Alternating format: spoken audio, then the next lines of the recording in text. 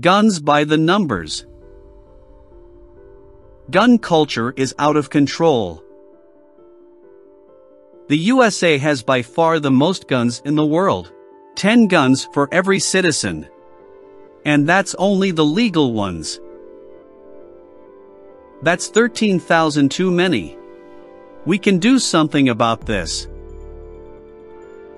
Every day, 24 to 7, people are dying by guns. Guns don't just kill. Guns injure many and ruin many lives. Children too, are dying at an alarming rate. Every day it is happening to our precious children, our future. Women in a relationship that has gone bad are particularly at risk. An American woman is shot by her partner every 16 hours.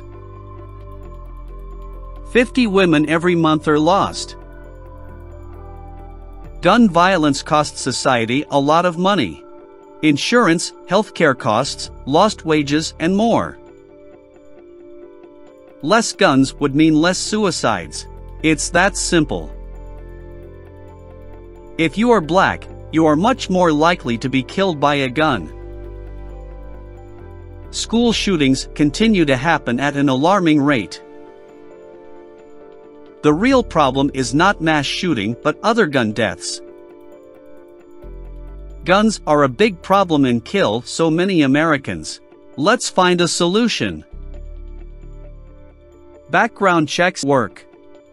We just need to make them mandatory across the nation.